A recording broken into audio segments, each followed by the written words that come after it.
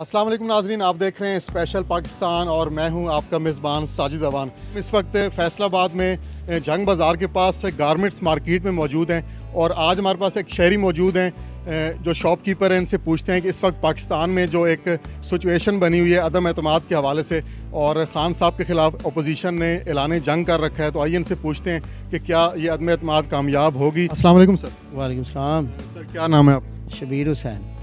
अच्छा शबीर भाई, क्या कहेंगे इस वक्त? पाकिस्तान में एक अजीब सी सूरत हाल बनी हुई है और अपोजिशन जो है, वो पूरी मुतहद होकर खान साहब के खिलाफ अदम अतमाद लाने जा रही है।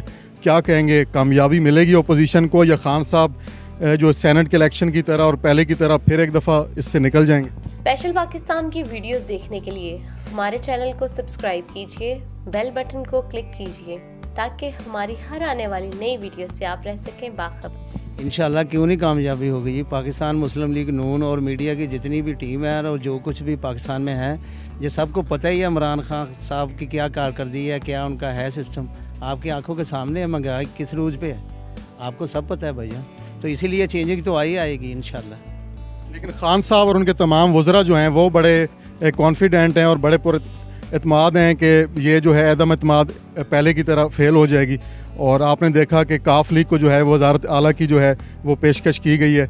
और, गवर्नमेंट की तरफ़ से भी काफ लीग एम क्यू एम और जितने इत्यादी हैं, उन तमाम को जो है, वो यकजा रखने के लिए कोशिशें की जा रही हैं। पूरे मुल्क में आप नहीं समझते एक अजीब फ़िज़ा बनी हुई है इस वक्त। लोग टेंशन में हैं कि क्या हुकूमत जा सकती है, नहीं जा सकती। जो तजिया कार हैं, जो मीडिया वाले हैं, वो भी कुछ जो है कंफर्म तजिया नहीं कर पा रहे। आप क्या कहेंगे? जी, देखिए जी, आप मार्केट का विज़िट कर लें, देख ली मार्केट की क्या कंडीशन है, क्या हालात है, ना कारोबार है, ना कोई मामला है। बिजली आए दिन महँगी, हर चीज़ महँगी। ये तो वज़ी अजम साहब को नोटिस लेना चाहिए ये ज़ाहरी बात है, अगर नोटिस नहीं लेंगे तो खुद ही खमियादा भुगतेंगे जी। आने वाले वक्तों में आके, आपके आँखों के सामने हो गए इलेक्शन आ रहे हैं। हम इंशाल्लाह देख लेना आप। अवाम आप, जवाब दे देगी आपको। अगर आप कुछ ना कुछ काम के लिए तो आवाम आपके साथ हैं वरना आपको पता ही है जहाँ मर्ज़ी चले जाएँ जहाँ से मर्ज़ी पता कर लें आपको पता ही है क्या पोजीशन है क्या हालात है। आप कामयाब हो जाएगी। इन जी इन आप सर नून लीग के सपोर्टर जी हम हैं नून लीग के हैं लेकिन हम पाकिस्तानी हैं।